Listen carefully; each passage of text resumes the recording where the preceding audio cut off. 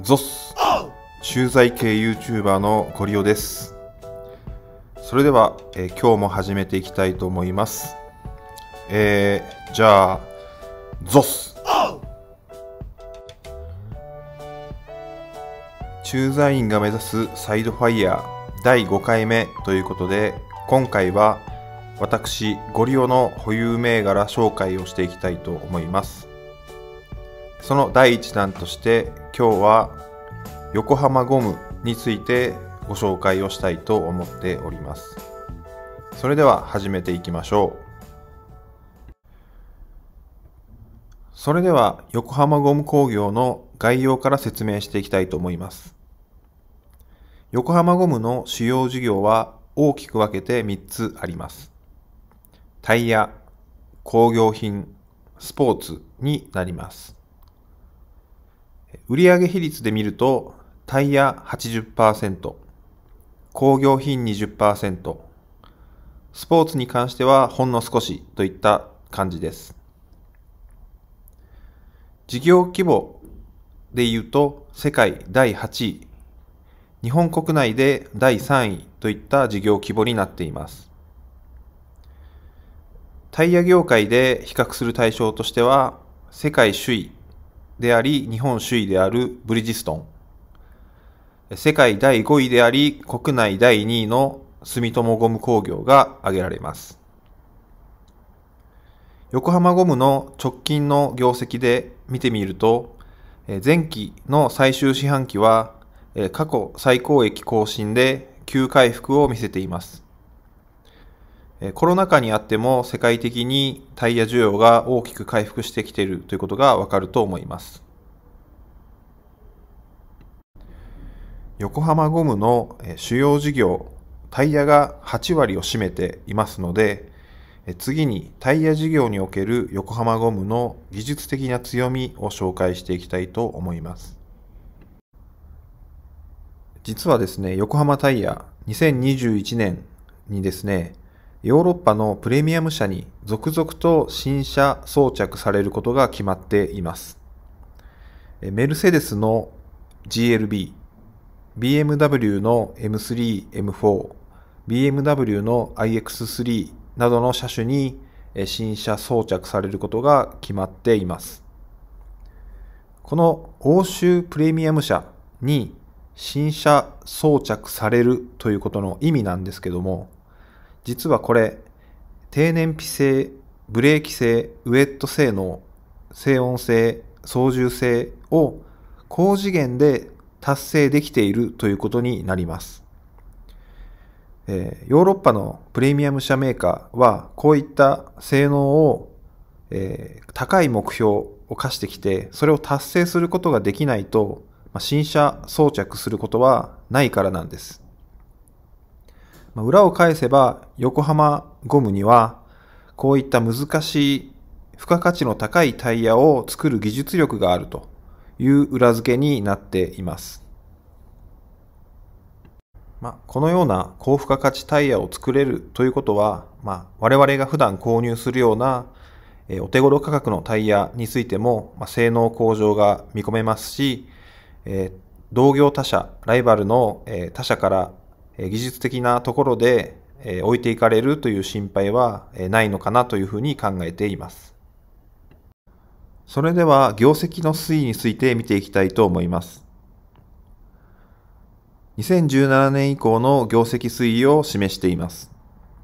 売上6500億程度、事業利益率が9%ほどで推移してきましたが、昨年に関してはコロナ禍の影響で売上利益率ともに低下していることがわかります。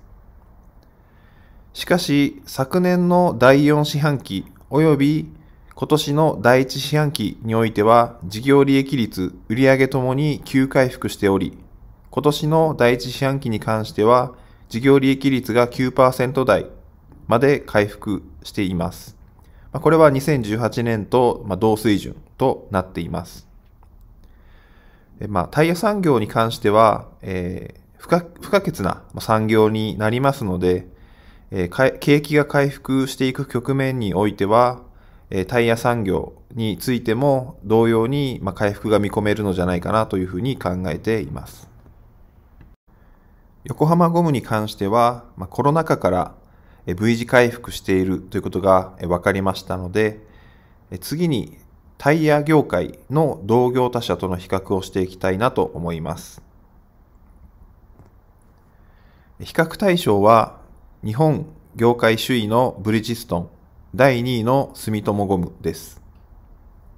この3社とも PER、PBR という指標に関しては3社とも割安水準になっています。比較した項目ですが、今期の予想営業利益率、今期の予想 EPS、1株当たり利益ですね。株価、配当額、配当利回りになっています。まあ、配当利回りに関しては、まあ、どこも3社ともほぼほぼ横並びかなというふうになえ見えますけども、横浜ゴムに関しては、今期の予想営業利益率が非常に高くなっています。これから何が言えるかと言いますと、まあ、コロナの不況から急回復しているタイヤ業界の中でも、まあ、回復が早いんじゃないかなというふうに思っております。この高い営業利益率から、EPS も非常に、高い値となっています。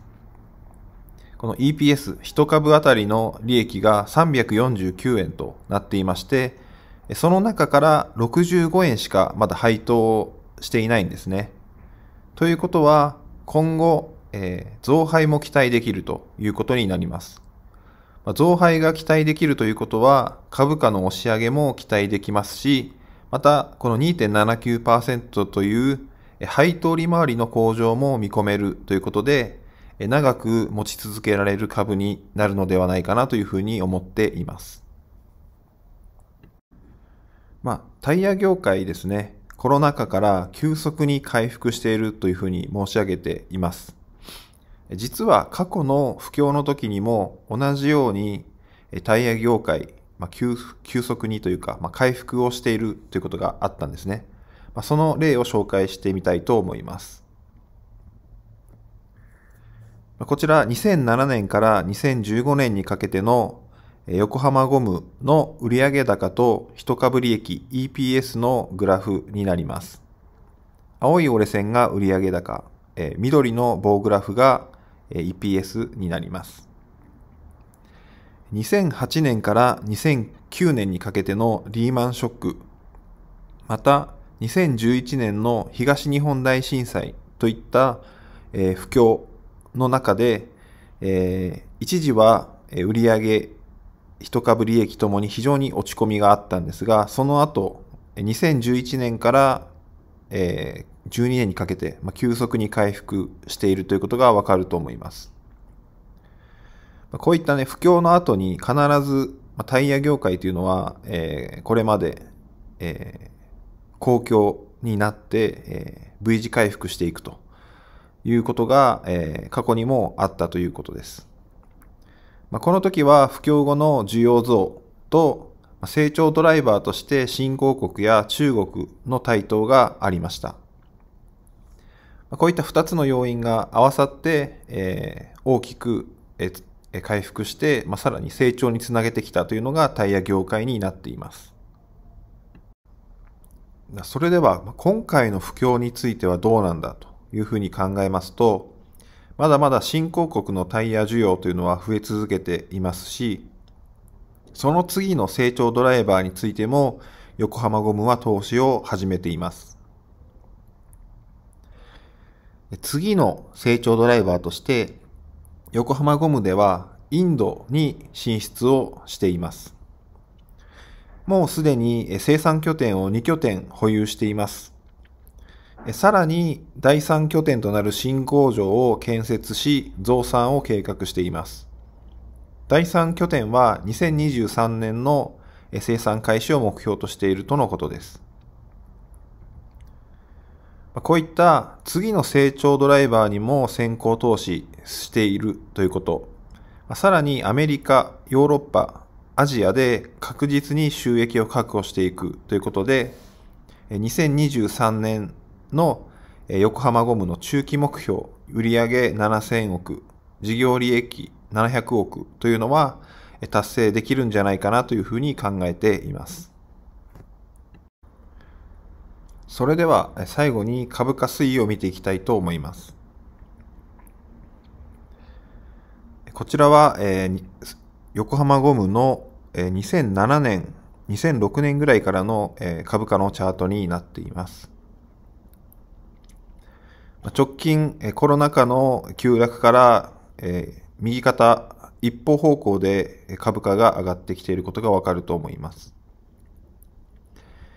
え、ご利用がですね、え、横浜ゴムの株式を購入したのがこの赤い丸のところですね。え、直近、え、上値となっていた50円ぐらいをちょうど上抜けしたところで、えー、購入しまして、ご利用の購入時の価格は1812円となっていました。今後はですね、えー、業績好調が、えー、しばらく私は継続すると考えていますので、この、えー、高値ですよね、2600円、もしくは2800円、2900円ぐらいの、えー、最高値付近まで上昇していくんじゃないかなというふうに考えて、ホールドを継続していこうというふうに考えています。最後にまとめをしたいと思います。横浜ゴムについては、まあ、高付加価値のタイヤを作る技術力があります。まあ、これは技術の源泉となりますので、そこそこのタイヤ、えーまあ、えー、性能はまあまあ良くて、え、安いタイヤっていうのを、え、安く作る技術につながってくると考えています。そして、え、同業他社比でも利益率が高くて、え、1株あたりの利益も高い状態ですので、増配が期待できると考えています。また、次の巨大市場、インドで戦う準備ができていると思います。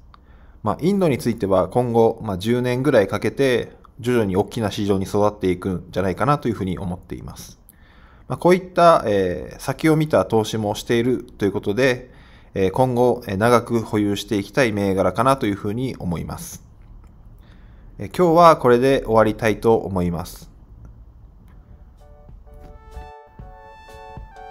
本日も動画をご視聴いただきありがとうございました。もし動画が少しでも良かったよと思っていただける方がいましたら、チャンネル登録、高評価いただけますと大変嬉しいです。まあ、今日はですね、えー、製造業に勤めるご利用目線で、えー、横浜ゴムについて動画を作成してみました。まあ、自分自身保有している銘柄の、えー、振り返りにもなりましたし、まあ、もしですね、この動画がこれから横浜ゴムの株を買ってみようと思う方の、えー、何ですかね、企業分析の